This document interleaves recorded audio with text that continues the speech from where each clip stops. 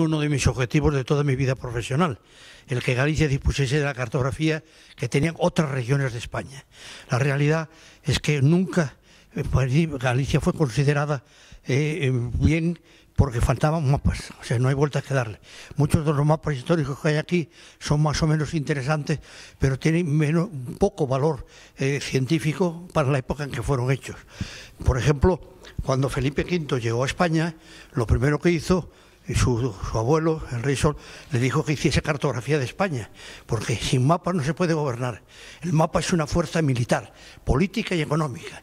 Y el que no crea eso está fastidiado, hasta tal punto que los políticos debían de conocer a fondo todas las posibilidades cartográficas de un país, porque ahí tienen retratada y tienen recogida toda la información del país sobre la que pueden tener que, tener que actuar. O sea, hoy día Galicia es posiblemente de las regiones de España con mejor cartografía en el momento actual. Gracias a la autonomía, pues se han hecho mapas a 5.000, a 10.000. El propio Instituto Geográfico, cuando yo era director general del Instituto, lo primero que hice fue crear la delegación del Instituto Geográfico en Galicia. puse al frente de ella a un ingeniero geógrafo que era marino de guerra y era gallego, y con el objetivo de que el 25.000 que se empezaba entonces, pues lo hiciésemos y además ser fue la primera región de España que tuviese el 25.000 y así fue. El mapa 95.000 se empezó con la cartografía digital, en La Coruña se hizo un, congreso mundial de cartografía, se hicieron exposiciones, total, en una palabra, eh, dándole a Galicia lo que le faltaba, porque no teníamos eh, suficientes mapas de calidad. Pues gracias al esfuerzo de la gente del Instituto Geográfico y, sobre todo a las autonomías que se dieron cuenta enseguida que el territorio hay que conocerlo a fondo para poder actuar sobre él, para poder gobernar. El político que no conoce los mapas va fastidiado. A lo largo de la historia, pues los militares lo han sabido siempre bien. Eh, como un detalle de la importancia de la cartografía, durante la Segunda Guerra Mundial, los alemanes eh, que se dieron cuenta de los fallos de la cartografía que había española en aquellos momentos, y tuvieron que hacer un levantamiento de España. Y el, mapa, en España aquí hay ejemplares del año 40, por ejemplo, de la hoja de Berín, del año 40 y del año 41, en donde en los mapas nuestros no aparecía la zona de Portugal. Los signos convencionales eran pocos. Las, longitudes estaban con respecto al meridiano de Madrid. Y ellos hicieron una cartografía con unas características para precisando la guerra, ¿eh? porque habían dicho Hitler en el año 38, en nuestra guerra civil, que se hiciese una cartografía de toda la península ibérica. Y esta cartografía, 900 hojas, fueron hechas por los alemanes y además las depositaron en Endaya, ¿eh? en unos vagones de ferrocarril. Y estos mapas es curioso porque eran mucho mejores que los mapas del 50.000 españoles, pero los alemanes lo tenían allí preparando para la operación Fénix para invadir España eh, y necesitaban de estos mapas, eh, la cartografía. la, eh, la, guerra terminó, los mapas quedaron olvidados en, en Daya, en los vagones de ferrocarril, y los americanos se enteraron que se envolvía el pescado y la carne en los pueblos de alrededor de Daya con mapas y entonces rápidamente el servicio de información americano fueron y vieron que eran los mapas de los alemanes que se los llevaron a Estados Unidos. Nosotros ni sabíamos que existían esos mapas. Cuando yo tuve, me mandó el gobierno español a Estados Unidos al Army Map Service para colaborar con los americanos para la formación del nuevo mapa de España que se iba a hacer por fotogrametría. Entonces allí se portaron muy bien conmigo y la primera cosa me llevaron a la biblioteca del Congreso y me regalaron unos ejemplares que me quedé emocionado. Era la hoja 303 Kerberin, ¿eh? de las dos ediciones que habían hecho los alemanes. Y también la de Cinto de Limia, que no la había hecho ni el Instituto Geográfico, no había ni mapa, y los alemanes la habían hecho. Entonces lo traje a España, ya se habló de esto y se empezó a hablar, a ver, pero claro, no eran los alemanes los únicos que les interesaba la cartografía de Galicia, era también los Estados Unidos, porque hicieron varios vuelos, pero aquí figura una hoja del año, me parece, 57, eh, bueno, dan lo mismo porque son el vuelo del 57 fue el mejor que hicieron, pero ellos hicieron un vuelo antes del 57, el 46, el 47, eh, sin permiso del gobierno español, para poder un mapa de España, porque los mapas eran malos también, y los de los alemanes no les valían demasiado Ellos tuvieron grandes fracasos en Europa cuando la Segunda Guerra Mundial por falta de una cartografía de Alemania adecuada para que la entendiesen los oficiales del ejército americano. Eh, y entonces ellos hicieron esa cartografía, que es una cartografía muy buena, con unas curvas de nivel sensacionales, con una altimetría que es una maravilla.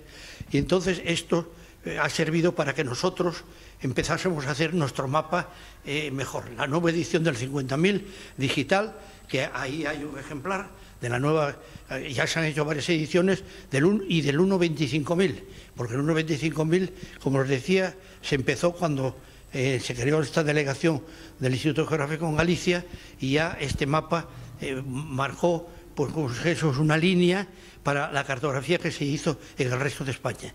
O sea que tuvo prioridad eh, la cartografía española en los acontecimientos cartográficos de aquella época.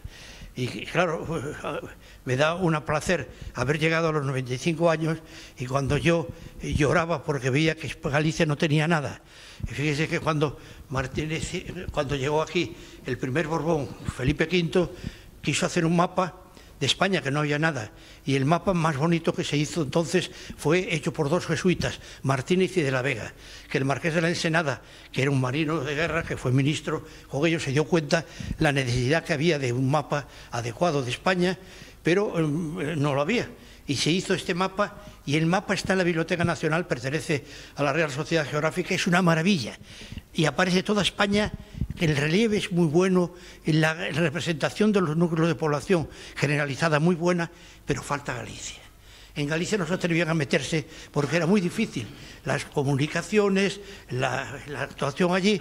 Y entonces todas eran cosas como muchos de los mapas que vemos aquí, que, tienen el mérito, por ejemplo, el de Fernando de Férez, de Dominico, eh, de Orense, que, fue a México y escribió una geografía de Galicia y, al hacer la geografía decidió hacer un mapa como podía hacer. Y es el mapa que figuraba en muchísimos atlas, que claro, lo recogieron atlas como el de Blaeu, el de Ortelius, y entonces se divulgó mucho y aparece en muchos sitios, pero es un mapa hecho sin grandes pretensiones. O sea, en Galicia la figura clave que tenía que tener un monumento verdaderamente, y creo que en algún sitio lo tendrá, es cuando Fontán, gallego, catedrático de matemáticas sublimes en Santiago, persona que tenía muchísimas posibilidades porque fue diputado, fue el primer director de la Escuela de Ingenieros Geógrafos que se creó en Madrid. Este hombre, que tenía muchas posibilidades, decidió hacer el mapa de Galicia porque Galicia no tenía mapa y hizo ese mapa de Fontán. Ese no es el original de Fontán. El original de Fontán está un solo color, esa escala 100.000, pero es una maravilla porque hizo una triangulación geodésica, hizo más de 2.000 puntos astronómicos y yo no me explico cómo una sola persona, con su propio dinero, porque apenas tuvo ayuda oficial, pudo levantar ese mapa que sirvió para hacer, bueno, que digo yo, los mapas que vinieron detrás que vemos de Coello. muchos cartografías se basaron en el mapa de Fontana, hasta que el Instituto Geográfico empezó a hacer el 1.50.000 en el año 1875, Fontán marcaba la pauta. Y aún hoy día es un mapa muy bueno y, tiene el mérito que durante mucho tiempo nadie se preocupaba de Fontán. Ahora se habla un poco porque hay una fundación Fontán y porque se ha popularizado un poco el, mapa, pero realmente el mérito de haber hecho lo que hizo en su momento, porque hizo un mapa a escala 100.000, que es lo que se hacía en Europa, y que hecho con su propio dinero, con muy pocos medios. Le ayudó un tal Rodríguez, que fue el catedrático de matemáticas sublimes de Santiago antes que él y que estaba, había trabajado con el Orden Survey en el Reino Unido y había hecho la geodesia, incluso trabajó en la, red geodésica de la India y este Rodríguez le mandó a Fontán mucha información porque lo conocía, incluso le compró unos aparatos a uno de los teodoritos que utilizó Fontán. De modo, ha habido figuras para mí de la cartografía gallega, que es Fontán, que es Cornide, ¿eh? que son dos figuras impresionantes. Y es Fernando eh, Ojea, que tuvo un mérito de que ser un dominico, que hizo una geografía de Galicia, que tenía mucho cariño por Galicia y que hizo un mapita que se ha popularizado mucho, muchísimo, muchísimo. En muchas atlas aparecía. Pero bueno, esas son las figuras así claves de la cartografía gallega. Bueno, no les doy más el rollo porque hablar de cartografía para mí, 66 años, eh, he sido catedrático de representación cartográfica en la Universidad Politécnica, eh, he tenido la oportunidad de ser presidente del Consejo Superior Geográfico y de muchas cosas internacionales, pero en todas partes he llevado eh, un poco la idea esa, cómo una región como Galicia estuvo sin cartografía y hoy día puede presumir, y yo lo puedo ver ahora, de tener la mejor cartografía de España.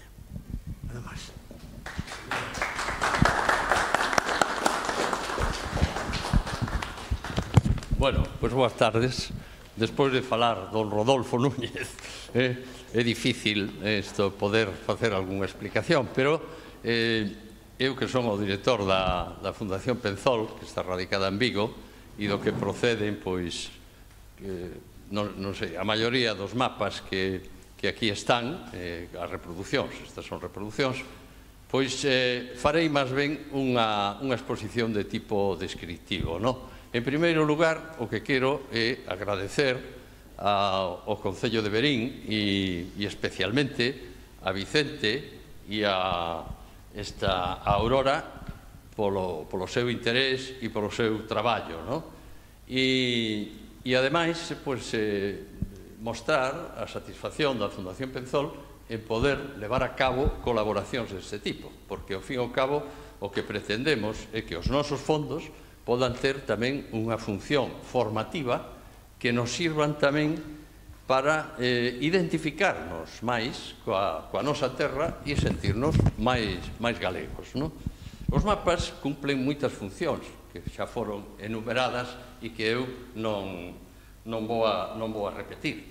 Pero hai unha a que sí eh, me gusta eh, sumar a todas esas, que os mapas tamén son unha fonte para o estudio da historia e son tamén unha fonte para a identificación cada un, ter un mapa e que apareza o noso povo, que apareza o noso lugar, eso nos dá, eh, bueno, non sei se estou ben situado porque aquí xente isto sí, pero para non dar a, as costas aí.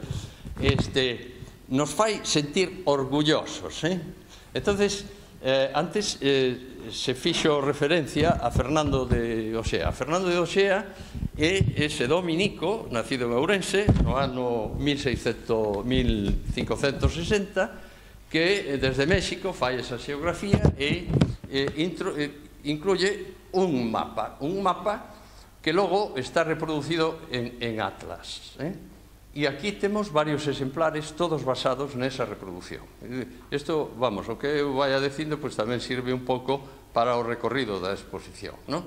Entonces, concretamente, os que temos aquí, pois son do ano 1600 reproduccións, do 1611, do 1635 e do 1636. E depois hai ali un mapa máis ampliado que ten a curiosidade de que a parte de Galicia a toma tamén de este mapa. É dicir, este mapa, durante moitos anos, serviu de, de referencia. Ten unha curiosidade tamén, que é a presentar a Galicia, Galicia que ten aparecido en outros mapas anteriores a todos esos, non aparecía como algo diferenciado, eh?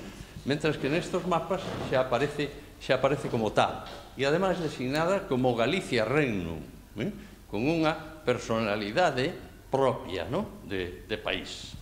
Logo despois ten, hai, hai mapas aí xa de cartografía posterior de, que, que non son feitos realmente con métodos científicos, pero que eh, se basan pois, en conocimentos, en pedir información, etc. ¿no? En algunhas deles veredes como se, ref, se reflicte a, a historia de Galicia porque aparecen, por exemplo, a, a división das sete antiguas provincias de eh, de, de, de, do reino de Galicia, no? A Coruña, Betanzos, Mondoñedo, Santiago de Compostela, Tui, Lugo e, e Ourense, no?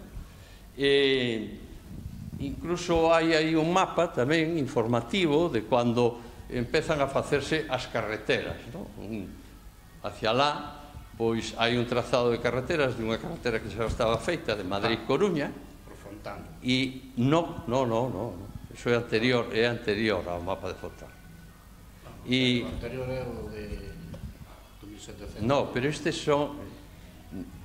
Este é un mapa de construción da... O mapa de Fontán falaremos despois, pero non é de Fontán.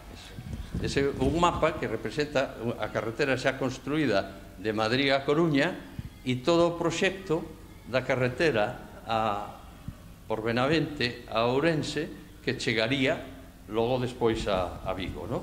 Ainda sin sin facer. Bueno, hai algúns outros mapas donde xa Galicia aparece eh, incorporada á coroa de Castela, pero que aparece tamén como unha entidade administrativa propia, con entidade, con entidade propia. Non?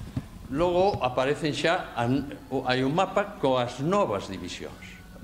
A partir do ano 1833, os mapas xa representan a nova división en provincias.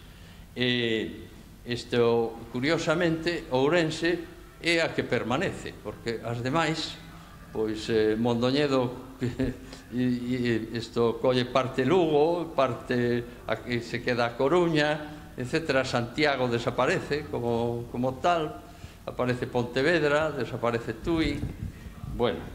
E, e de Ourense tamén hai algúns mapas no? hacia, hacia este lado. Os mapas eh, son dous do, do século XIX, de 1856 un e de 1860 outro, e outro do século XX de 1910. Bueno, hai un deles que está dedicado a Eduardo Chao. Eduardo Chao é un personaxe moi importante na política e isto de Galicia e de España. Chegou a ser ministro na Primeira República, era un liberal. Era fillo de un farmacéutico, un boticario de, de Rivadavia, José María Chao, que se establece en Vigo.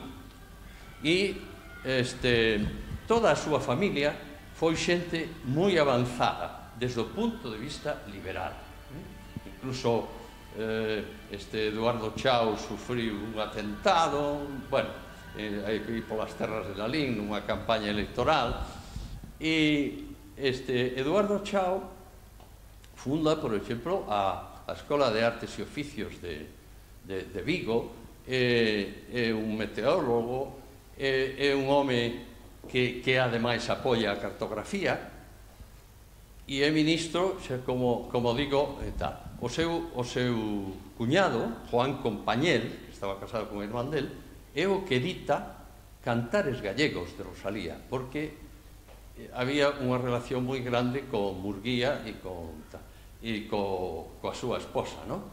E, e o irmán de Eduardo, Alejandro, Alejandro Chao, edita en La Habana follas novas, é dicir que son eh, os que de alguna forma están apoyando toda aquela concienciación de Murguía para esa etapa do, do, re, do resurdimento do resurdimento galego, non? Hai un mapa da diocese de Ourense, que é o mapa de Cornide, o que facía referencia como... Bueno, Cornide ten unha importancia moi grande como, como personaxe dos ilustrados, eh? E ali na Fundación Penzol temos algunhas das, das súas publicacións dentro da, da nosa biblioteca. No? agora estou recordando unha de un estudio sobre a Torre de Hércules con uns, tra... uns mapas, además, moi interesantes, de cortes en alzado e cortes eh, esto en paralelo, ¿no? En paralelos á base e tal. Bueno, e, e en ese mapa de Cornulla tamén vemos a historia, porque aí, por exemplo, aparece a diocese de, de Ourense sin a parte de Rivadavia e de Padendra, que pertenecían á diocese de Tui e que no ano 1955 se incorporan a, a esta de, de Ourense, ¿no? aínda quedan partes de Galicia que pertenecen a Astorga e que non están incorporadas realmente ao que é o territorio da nosa, da nosa autonomía. Eh, bueno, é un detalle e tal. E respecto de, de Fontán, na Fundación Penzol, nos eh, temos exposto de maneira permanente nunha, nunha parede eh, e que enseñamos a todas as visitas unha reproducción do mapa que ele entrega a raíña María Cristina de Borbón no ano 1834 despois de 17 anos de traballo de traballo e de gastos que como xa dixo Don Rodolfo eh, este, asumiu el do seu, do seu propio do seu propio peto no? eh, era Fontán é un personaxe importantísimo igual que o Xosé Rodríguez o que, o que aludiu que o conocido máis polo o matemático de Bermés, Bermés é unha aldea de Lalín, que, bueno, este era de familia moi humilde e, claro, ocupou todos esos, todos esos postos, foi unha personalidade internacional, ademais, e foi maestro, foi profesor do propio, do propio Fontán. No? Entón, o mapa, o mapa de Fontán, eh, ese eh, logo se reproduce, e se reproduce e se fai unha edición en París no ano 1845. Se fai en París por, porque, ao parecer, aquí en España non había eh, grabadores para poder facelo, porque a raíña quería que se fixera aquí. E ao final acabou facéndose en París e editando. Nos temos tamén eh, nos nosos fondos este, este mapa que, bueno, que, un atlas, que está en tipo atlas, en tipo libro, que se abre por, por láminas, e hai unha reproducción aí nunha, nun, nun panel eh, de, de, ese, de ese mapa. Bueno, este mapa, eh, aparte de toda a importancia que se refire, pois eh, ten tamén esa importancia e a tuvo para todos aqueles que tuveron o movimento de galeguista, eh, de resurdimento, da identificación do país. Aparte de ser unha ferramenta estupenda para o trazado de carreteras, de ferrocarriles, de, de, das divisións territoriais, etc. Todas esas funcións. E Otero Pedrallo, contemplando o, o mapa de, de Fontán, eh, o que dice é que é o rostro da terra, da terra referíndose a Galicia, realmente é o rostro de Galicia. E aí nos vemos todos, no? plasmados. E máis, cando el no ano 1947 vai a Buenos Aires convidado pola xente da emigración aínda vivía Castelao e ali isto se funde nun abrazo e Castelao cando o recibe lle dice abrazarche a ti é abrazar a Galicia e levaba consigo a, a reproducción do mapa de Fontán do ano 1834, é dicir, o, o, o autógrafo. E, e ali dixo, levo isto porque toda Galicia vai nela. Nela quería decir na carta xeométrica de, de Galicia que era como, como así se denominou o mapa que fixo Fontán. Domingo Fontán Rodríguez, el todo que midiu, escribiu, non? Sí. Le pasou por Verín, le pasou por todo Galicia, e todo o que iba vendo, mirando, anotaba ele bujeiro, un puente eran de madeira, puentes eran de pedra, e ese manuscrito está na Real Academia Gallega. Ese manuscrito tuve unhas mãos tamén Botero Pedrano. Uh -huh. Ya me chama a atención porque lle faltan 10 páginas ese manuscrito. Bueno, es...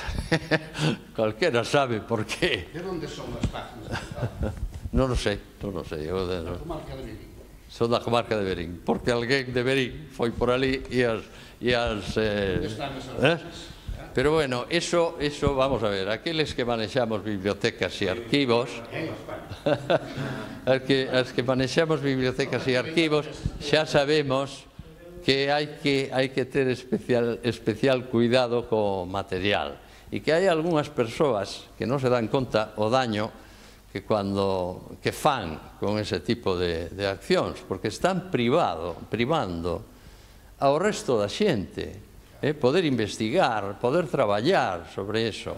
E entón, claro, lévano, eh, bueno, a veces é con un sentido eh, moi, moi pobre do que de, de poseer algo, pero para que te sirve se realmente non está prestando un servicio á sociedade?